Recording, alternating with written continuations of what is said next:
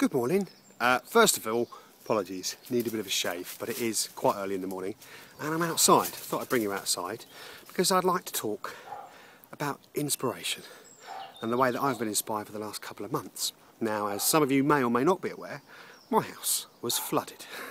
Uh, we had a burst water, pipe, burst water pipe on the road behind our house and it flowed all the way down through the house, ruined it. So we had to move out while it dried and now they're obviously doing the uh, building work and getting everything fixed again. So while that happened, we had to move out. And we've moved to, excuse the oil tank, it is beautiful, I promise. and we've moved into a cottage in the middle of nowhere. Now this is the sort of place that I aspire to live in. And it has inspired me to achieve more um, because I'd like, I think my family have enjoyed it as well. And they are the most important thing to me my wife, my two stepchildren, and this dog. Very important to me. We have nice walks every single morning. So it's this is that has inspired me to think about the positives from the negatives. The negatives is, uh, well, I could tell you, I'm going to tell you, we remortgaged our house to decorate it top to bottom.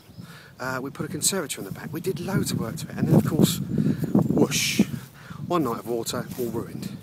Pretty bad. Pretty, you know, that's a negative. But the, the positive from that is that we've been allowed to stay in a beautiful house like this, which I'll show you in a second, um, for a couple of months, um, and it has inspired me because, you know, I, I want to provide my family with this. I don't think that's flash. That's just you all want the best for your family, don't you? There's the house. Obviously, at some point it was two cottages, wouldn't you say? Um, and uh, and this is the garden, and it's just it is really stunning. It's beautiful, and I would love to let my family grow up in a place like this. So that's been my inspiration, and. Um, I'm going to do a few more of these chats, especially if the weather holds, as the weather is uh, getting more spring-like. We can sit down in the garden and have a little chat together. It's beautiful. Dave, come here. Here, up, up. There you go. Come here. Look, he doesn't care a jot, but that's Dave. Go that's how happy the dog is. Believe you and me, the kid's are pretty happy, and my wife is happy too. And you know what? That makes me happy. Let me know what inspires you. Pop them in the comments down below here, if you wouldn't mind.